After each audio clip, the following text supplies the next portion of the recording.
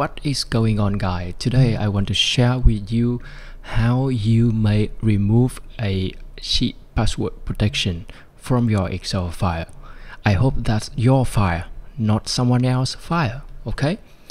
So you may see I have here an Excel file, but I cannot edit the file because I uh, put a password protection on the sheet and uh, obviously I don't know the password. I forget the password. So what are we gonna do now?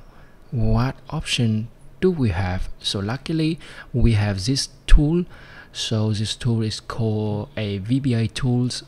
So um, uh, before we uh, proceed to the next step we need to make a copy or make a backup of our file. So for cautious uh, you may make a folder name it backup and then you may copy the file and then enter the backup folder and paste the file there okay?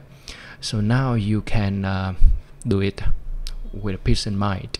So the first thing we need to do is close the file before we proceed to the next step. So it will be a very sophisticated step. So you need to click on this do it button and then you need to select the file and then click on OK. And just wait a few moments uh, you will have this notification from Excel that the password is removed okay you go back to the folder. Now you see a new Excel file. You click on this Excel file and as the file opened you may see there's no more password there's no more sheet protection password. So there you go. It's your file okay? So again you may have a look at the uh, VBA code here uh, for inspection purposes. So there's nothing sketchy about this code. So go grab the file and test for your case.